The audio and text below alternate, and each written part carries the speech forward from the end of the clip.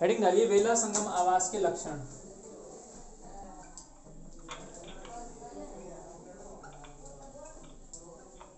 तो हमने चर्चा की थी बेला संगम आवास पर जहाँ नदियों और समुद्रों का जल आपस में मिलता है, उस आवास को अपने क्या नाम दिया था? बेला संगम आवास के नाम से जाना था, ठीक है? इसके कौन कौन से लक्षण होते हैं तो लिखिए इसमें। नदियों तथा समुद्रों का जल मिलने के कारण मिलने के कारण नदियों तथा समुद्रों का जल मिलने के कारण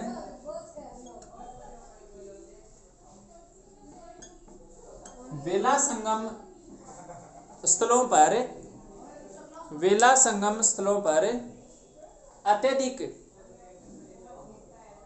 वेला संगम स्थलों पर अत्यधिक वनस्पतियाँ तथा जंतु जात पाए जाते हैं। वनस्पतियाँ तथा जंतु जात पाए जाते हैं। आप देखिए, ऐसा क्षेत्र जहाँ पर जातियों की विविधता होती है, उसे हम क्या नाम देते हैं भाई? क्या नाम देते हैं? जंतु जात पाए जाते हैं। इकोटोन कहते हैं ना? तो लिखिए अगले से। वेला संगम आवास के प्रमुख लक्षण निम्न है।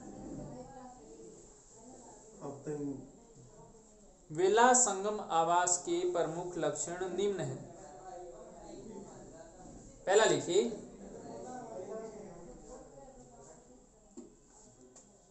इस स्थल पर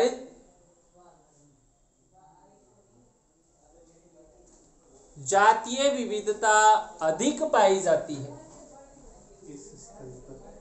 इस स्थल पर जातीय विविधता अधिक पाई जाती है। अर्थात जातीय विविधता अधिक पाई जाती है। अर्थात यहाँ इकोटोन का निर्माण होता है। यहाँ इकोटोन का निर्माण होता है। इकोटोन का निर्माण होता है।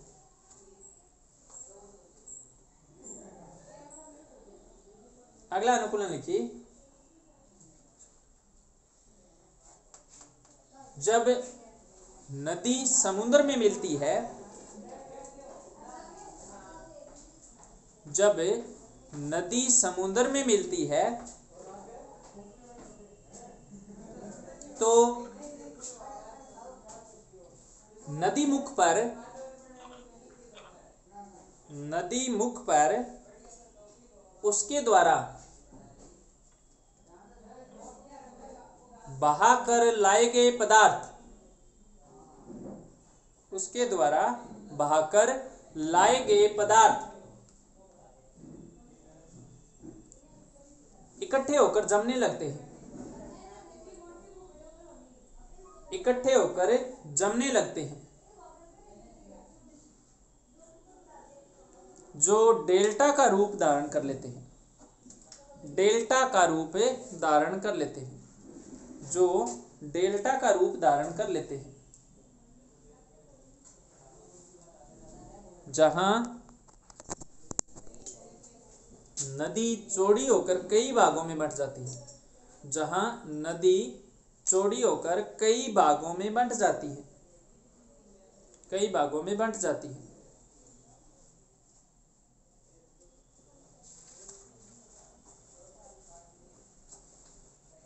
अगला लक्षण लिखिए वेला संगम स्थल पर वेला संगम स्थल पर ज्वार के समय जल ज़्यादा होगा या कम होगा बताओ। ज्वार के समय जल अधिक होगा या कम होगा? ज़्यादा। ज़्यादा। ज्वार के समय जल अधिक होता है? वेला संगम आवास में ज्वार के समय जल अधिक होता है? अधिक होता है जबकि जल अधिक होता है जबकि बाटा आने के दौरान जल में कमी आ जाती है। बाटा आने के दौरान जल में कमी आ जाती है। कमी आ जाती है।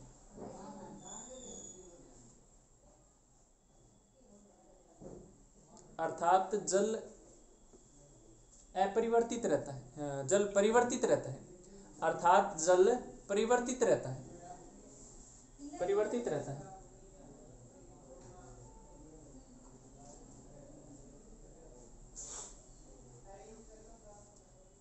अगला लक्षण लिखिए। जल सतह बार बार बदलती रहती है। जल सतह बार बार बदलती रहती है, क्योंकि बरसात के दिनों में नदियाँ उफान पर होती है तो ज़्यादा जल जाएगा तो जल सतह ऊपर उठ जाएगी, और जब बरसात का सीज़न नहीं होता तो जल नदियों के द्वारा कम लाया जाता है तो जल की स्तर नीचे हो जाती है। जल सतह बार बार बदलती रहती है।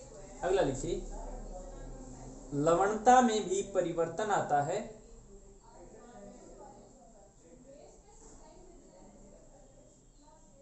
लवणता में भी परिवर्तन आता है। वर्षा ऋतु में लवणता कम होगी या ज़्यादा? वर्षा ऋतु में लवणता कम होगी। वर्षा ऋतु में लवणता कम हो जाती है। वर्षा ऋतु में लवणता कम हो जाती है क्योंकि नदियों का जल आता है ज़्यादा और नदियों का जल स्वच्छ होता है। लवणता कम हो जाती है। अगला लिखिए। वेला संगम आवास स्थल में जल धाराएँ पाई जाती हैं। जल धाराएँ पाई जाती हैं। जल धाराएँ पाई जाती है। जल धाराएँ पाई जाती है जहाँ नदियों का जल, नदियों का जल ऊपरी सतह पर होता है, ऊपरी सतह पर होता है, जबकि समुद्र का जल निचली सतह पर होता है, जबकि समुद्र का जल निचली सतह पर होता है। जबकि समुद्र का जल निचली सतह पर होता है मतलब जल की सतह जो होती है ना ऊपर नदी का जल होता है और निचली सतह पर सामान्यतः समुद्र का जल होता है सी वाटर होता है। लिखिए। तापक्रम में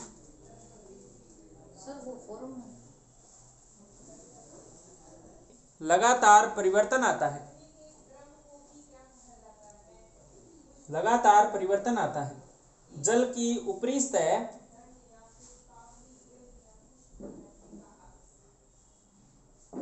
अधिक तापक्रम वाली होती है।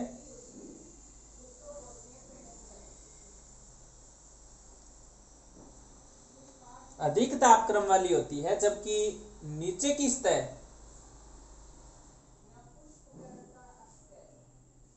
कम तापक्रम वाली होती है। शीतल जल होता है नीचे की सतह कम तापक्रम वाली होती है।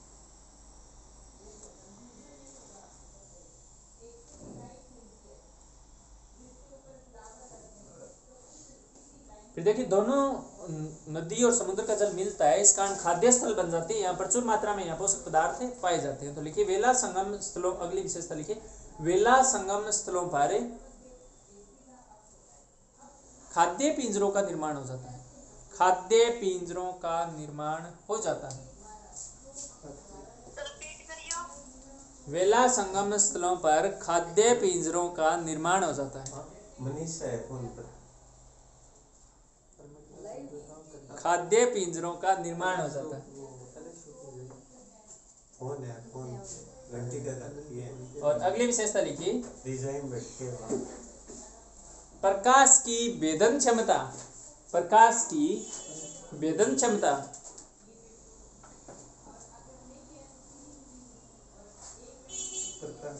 वेदन क्षमता परिवर्तित होती है। परिवर्तित होती है। जैसे वर्षा ऋतु में, वर्षा ऋतु में वेदन क्षमता में कमी आ जाती है। गंदा जल आता है ना नदियों का? वेदन क्षमता में कमी आ जाती है। वेदन क्षमता में कमी आ जाती है। ज़्यादा जैसे वेदन क्षमता। पानी गंदला पानी ज़्यादा आएगा तो वेदन क्षमता कम होगी भैया। वर्षा ऋतु में हाँ वर्षा ऋतु में नदी का गंदा पानी आएगा गंदा पानी बह के मिट्टी मुट्टी सारी आती है उसके साथ। ठीक है ना?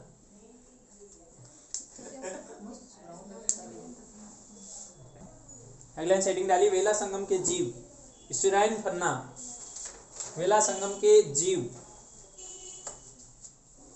स्पीड बढ़ाइए थोड़ी वेला संगम के जीव और जो सर देखिए वेला संगम में पाँच प्रकार के जीव मुख्य रूप से पाए जाते हैं।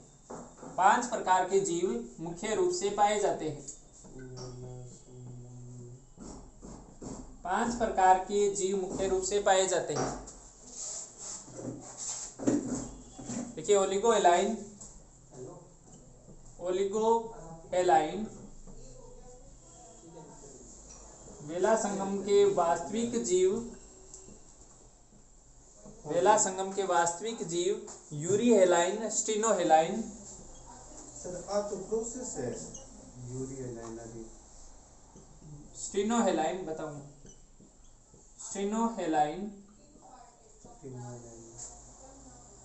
तथा माइग्रेंट्स या प्रवासी। माइग्रेंट्स या प्रवासी जीव। प्रवासी जीव। प्रवासी जीव। देखिए, ये भी प्रकार हो गया ना, एक ओलिगो यूरी और स्टीनो। मतलब ये कितनी प्रयास में लवणता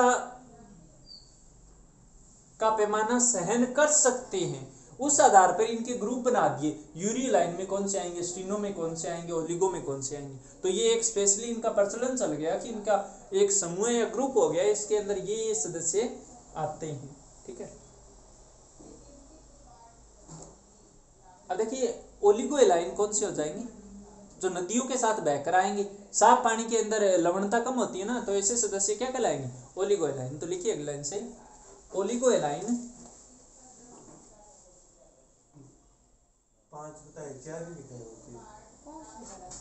ओलिगो एलाइन। स्वच्छ जलीय नदी के जीव होते हैं। स्वच्छ जलीय नदी के जीव होते हैं। जो अधिक लवणीय सांद्रता सहन नहीं कर सकते, जो अधिक लवणीय सांद्रता सहन नहीं कर सकते। लवणीय सांद्रता सहन नहीं कर सकते।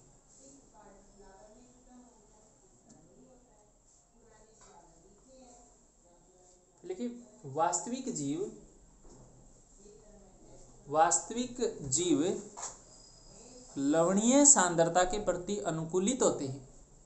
वास्तविक जीव लवणीय सांद्रता के प्रति अनुकूलित होते हैं। लवणीय सांद्रता के प्रति अनुकूलित होते हैं।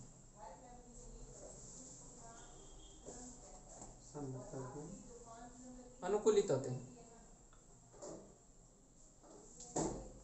लिखिए यूरिया लाइन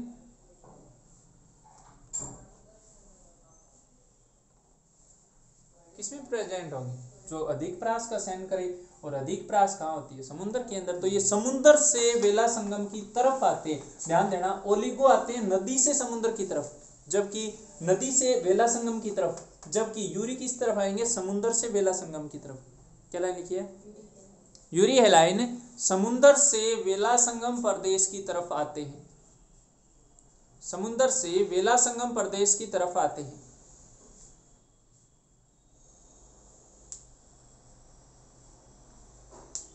जिनमें अधिक लवण सहन करने की क्षमता होती है। अधिक लवणीय सांद्रता सहन करने की क्षमता होती है। अधिक लवणीय सांद्रता सहन करने की क्षमता होती है। जिनमें अधिक अधिक लवणीय सांद्रता सहन करने की क्षमता होती है। स्टीनोहेलाइन जीव वेला संगम मुख के आसपास वेला संगम मुख के आसपास खुले समुद्री किनारों पर रहते हैं। खुले समुद्री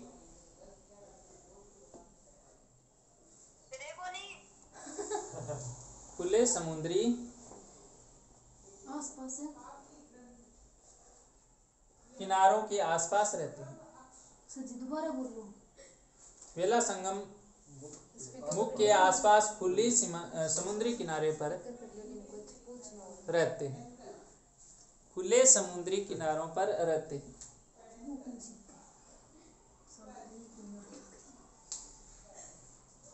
फिर लिखिए प्रवासी जीव प्रवासी जीव थोड़ा समय ही वेला संगम क्षेत्र में व्यतीत करते हैं। थोड़ा समय ही वेला संगम क्षेत्र में व्यतीत करते हैं। व्यतीत करते हैं।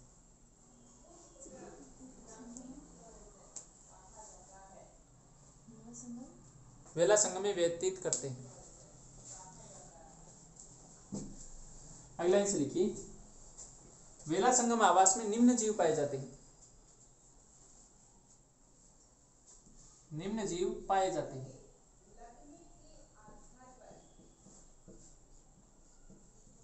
निम्न जीव पाए जाते हैं। देखिए, diatom, rhizostoma navicula rhizostoma नेविक्यूला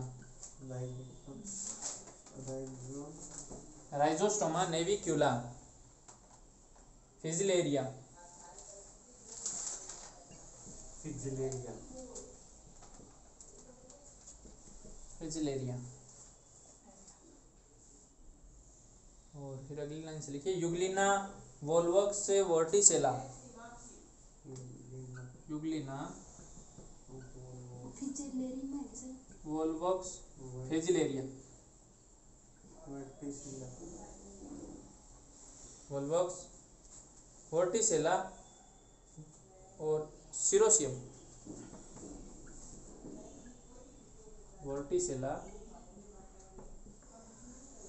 सिरोसियम सिरोसियम Noctiluca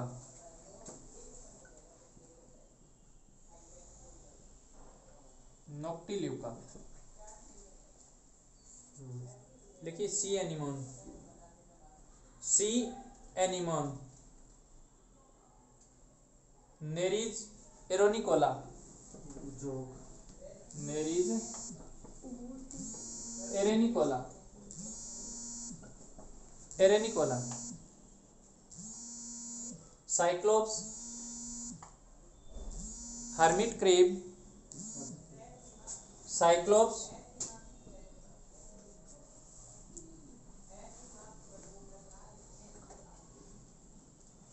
hermit crab झिंगे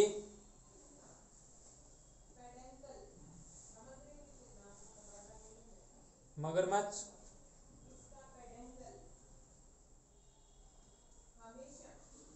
आदि। आदि।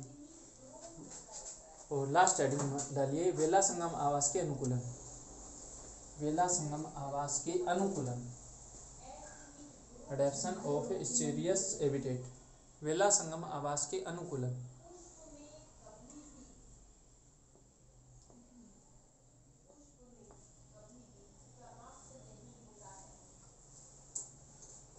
वेला संगम आवास के अनुकूलन। देखिए, मिश्रित आवास के कारण,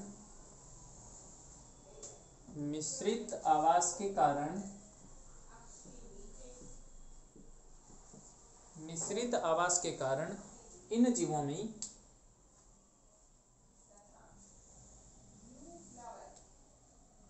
अधिक अनुकूलन पाए जाते हैं। देखिए, नदियों का और समुद्र का दोनों का आवास मिलता है ना यहाँ तो दोनों की विशेषताएँ होगी। अधिक अनुकूलन पाए जाते हैं। जैसे जैसे, पहला अनुकूलन लिखिए, प्रासरण नियमन ओस्मो रेगुलेशन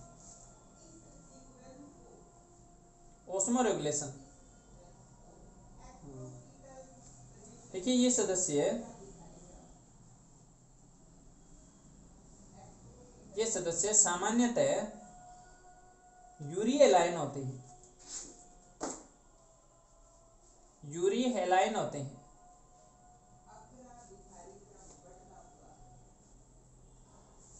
प्राशन नियमन हेतु कुछ केकड़ों में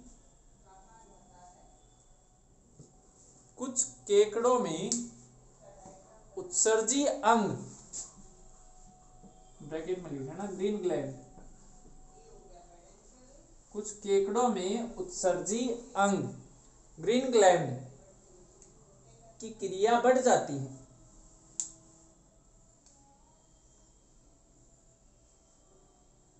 क्रिया बढ़ जाती है। या जीवों के गिल्स में जीवों के गिल्स में क्लोराइड सेल्स, जीवों के गिल्स में क्लोराइड सेल्स विकसित हो जाती है। विकसित हो जाती है जो लवणों को अवशोषित करती है। लवणों को अवशोषित करती है। लवणों को अवशोषित करती है। तो उसमें रेगुलेशन की पर्याप्त क्षमता इनके अंदर पाई जाती है, ठीक है? अगला अनुकूलन लिखिए तेज जल धारा के दौरान अवशोषित करती। तेज जल धारा के दौरान ये जंतु कीचड़ में धंसकर तेज जल धारा के दौरान ये जंतु कीचड़ में धंसकर स्वयं की सुरक्षा करते हैं। स्वयं की सुरक्षा करते हैं।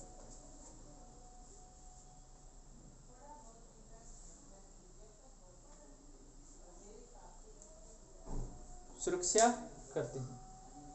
लिखिए केट फ़िश अगला अनुकूलन लिखिए केट फ़िश जल धाराओं से सुरक्षा हेतु, केट फ़ीस जल धाराओं से सुरक्षा हेतु अंडों को बच्चे निकलने तक मुख में रखती है। अंडों को बच्चे निकलने तक मुख में रखती है।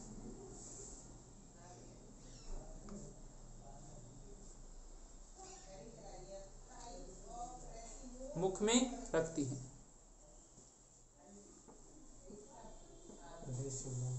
लिखिए ट्रोकोफोर लार्वा।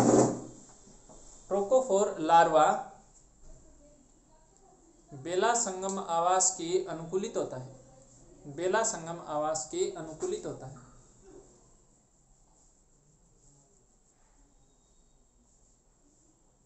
अनुकूलित होता है।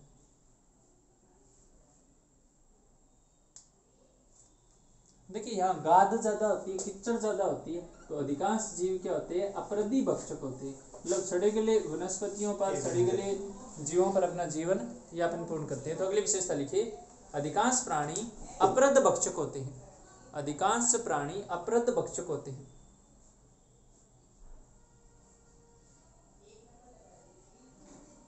अपरद भक्षक होते हैं। और टेम्परेचर के अंदर इनमें परि परिवर्तन बहुत ज़्यादा होता है तो ये जंतु क्या हो जाएँगे भाई? यूरी थर्मल हो जाएँगे। अधिक ताप प्रास कर, सहन करने की क्षमता होती है तो अगला अनुकूलन लिखिए। इनमें अधिक ताप प्रास सहन करने की क्षमता होती है। अधिक ताप प्रास सहन करने की क्षमता होती है।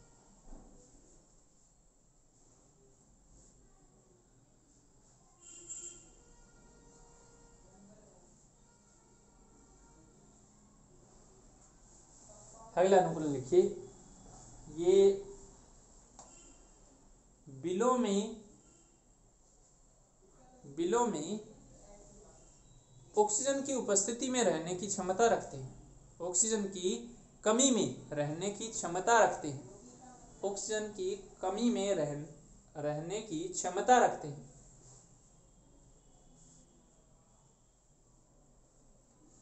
क्षमता रखते हैं। लिखिए ओपल थमस अगला अनुकूलन लिखिए ओपल थमस मछलियाँ ओपल थमस मछलियाँ ओपल थमस?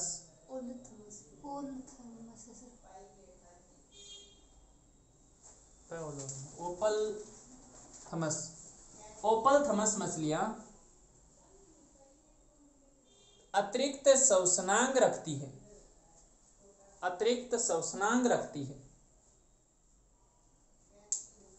ताकि ताकि कीचड़ में श्वसन की क्रिया पूर्ण कर सके। किचड़ में श्वसन की क्रिया पूर्ण कर सके। किचड़ में श्वसन की क्रिया पूर्ण कर सके। अतिरिक्त श्वसनांग रखती है ताकि किचड़ में श्वसन की क्रिया पूर्ण कर सके। तो ये आपकी यूनिट थर्ड कंप्लीट हो गई।